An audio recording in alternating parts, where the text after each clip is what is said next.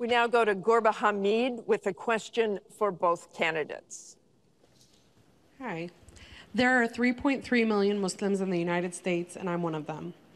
You've mentioned working with Muslim nations, but with Islamophobia on the rise, how will you help people like me deal with the consequences of being labeled as a threat to the country after the election is over? Mr. Trump, you're first. Well, you're right about Islamophobia, and that's a shame. But one thing we have to do is we have to make sure that, because there is a problem. I mean, whether we like it or not, and we can be very politically correct, but whether we like it or not, there is a problem.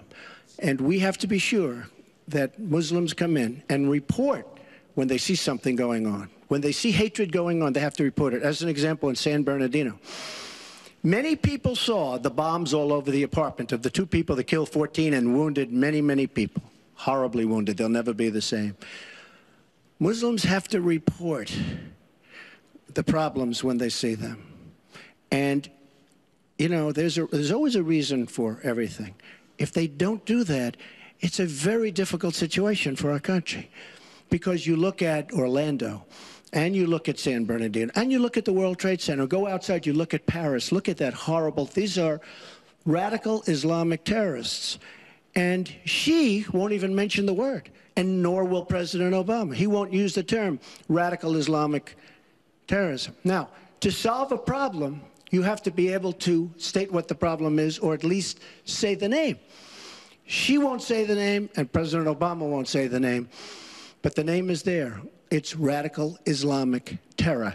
And before you solve it, you have to say the name. Secretary Clinton.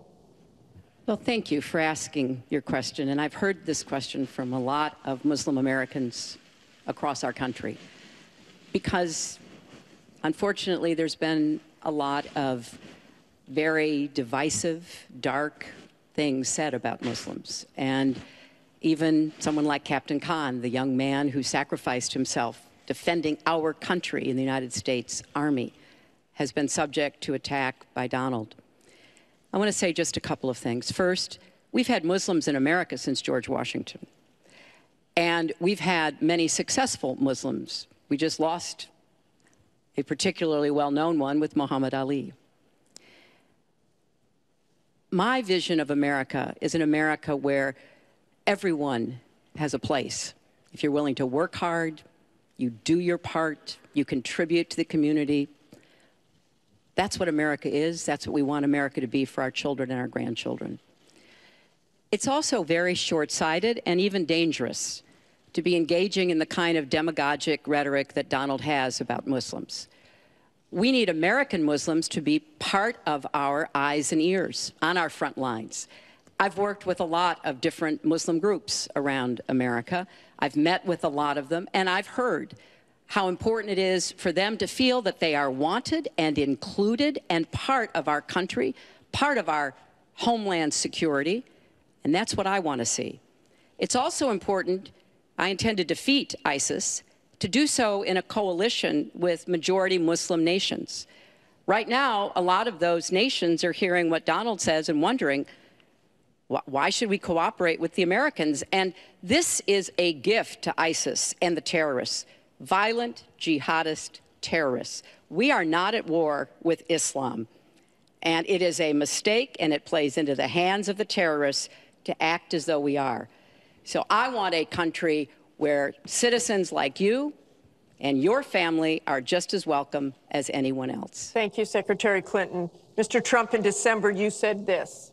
Donald J. Trump is calling for a total and complete shutdown of Muslims entering the United States until our country's representatives can figure out what the hell is going on.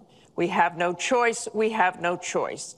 Your running mate said this week that the Muslim ban is no longer your position. Is that correct?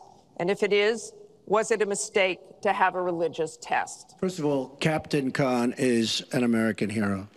And if I were president at that time, he would be alive today. Because unlike her, who voted for the war without knowing what she was doing, I would not have had our people in Iraq. Iraq was a disaster. So he would have been alive today. The Muslim ban is something that in some form has morphed into a extreme vetting from certain areas of the world. Hillary Clinton wants to allow And, and why did it morph into excuse that? no, did me. you? No, answer the question. Why do you, you, still believe? her? You I interrupt do. me all the time. Why don't you Would you interrupt her? please explain whether or not the Muslim ban still stands? It's called extreme vetting. We are going to areas like Syria where they're coming in by the tens of thousands because of Barack Obama and Hillary Clinton wants to allow a 550% increase over Obama. People are coming into our country like we have no idea who they are, where they're from, what their feelings about our country is, and she wants 550% more. This is going to be the great Trojan horse of all time.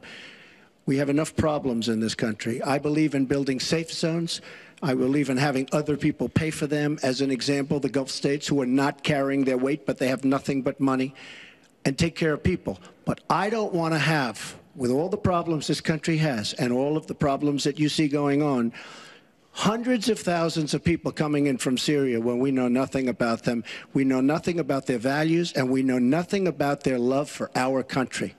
And uh, Secretary Clinton, let me ask you about that because you have asked for an increase from 10 to 65,000 Syrian refugees.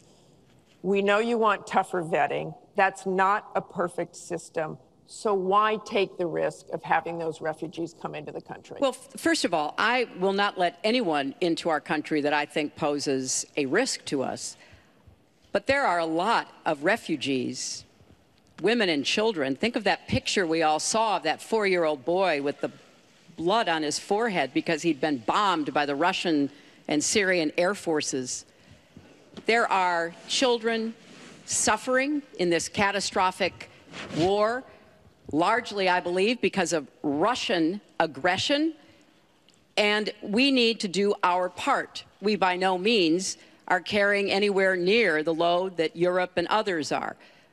But we will have vetting that is as tough as it needs to be from our professionals, our intelligence uh, experts, and others. But it is important for us as a uh, policy, you know, not to say, as Donald has said, we're going to ban people based on a religion. How do you do that? We are a country founded on religious freedom and liberty. How do we do what he has advocated without causing great distress within our own country? Are we going to have religious tests when people fly into our country? And how do we expect to be able to implement those? So I thought that what he said was extremely unwise and even dangerous. And indeed, you can look at the propaganda on a lot of the terrorist sites. And what Donald Trump says about Muslims is used to recruit fighters because they want to create a war between us. And the final thing I would say this is the 10th or 12th time that he's denied being for the war in Iraq. We have it on tape. The entire press corps has looked at it. It's been debunked, but it never stops him from saying whatever he wants to say. It Has not been debunked. So please Has not uh, been debunked. And I go was to against- I was HillaryClinton.com and, and you can see it. I was against the war in Iraq. Has not been debunked. And you voted for it, and you shouldn't have. Well, I just want There's to been lots say, of fact checking excuse on that. I'd like to move on to an me. online question. She just went about 25 seconds over her time. She Could did I not. just respond to this, please? Very quickly, please. Hillary Clinton, in terms of having people come into our country, we have many criminal illegal aliens. When we want to send them back to their country, their country says, we don't want them. In some cases, they're murderers, drug lords, drug problems, and they don't want them.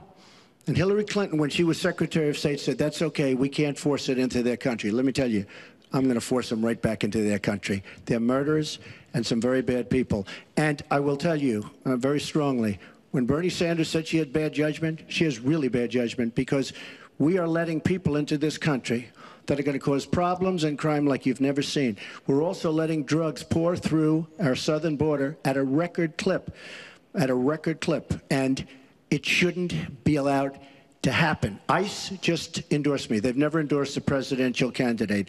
The Border Patrol agents, 16,500, just recently endorsed me. And they endorsed me because I understand the border. She doesn't. She wants amnesty for everybody. Come right in, come right over. It's a horrible thing she's doing. She's got bad judgment, and honestly, so bad that she should never be president of the United States. That Thank- I can tell Thank you, Mr. Trump. I want to move on.